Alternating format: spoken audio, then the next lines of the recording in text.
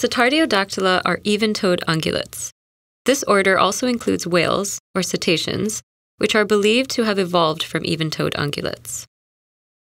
Members of the order Cetartiodactyla are hoofed animals, and ones that bear weight equally on two of the five toes, specifically their third and fourth ones.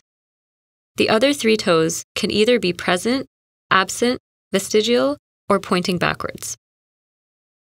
The teeth morphology of the Cetartiodactyla order are ones of herbivores.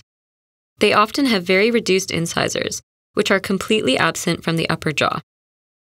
They use this morphology for clipping and tearing vegetation by pressing the lower incisors against the hard upper palate to clip vegetation cleanly. Members of this order are missing or have reduced canines. If present, they are small and will look more similar to incisors, and will be followed by a diastema.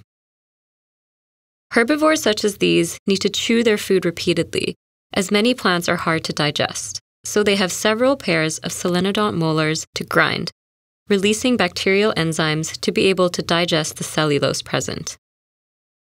The molars are ridged, so jaws can move sideways laterally, sliding over each other.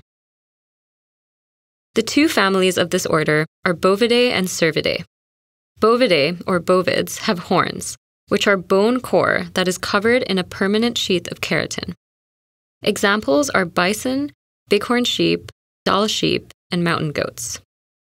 Cervidae, or cervids, have antlers, which are porous, fast growing bony tissue that is shed and replaced annually. They grow from a permanent outgrowth of frontal bone. Examples are moose, elk, caribou, and deer. Mm-hmm.